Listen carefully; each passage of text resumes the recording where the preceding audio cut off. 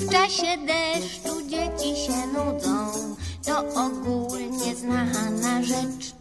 Choć mniej trudzą się i mniej brudzą się, ale strasznie nudzą się w deszcz.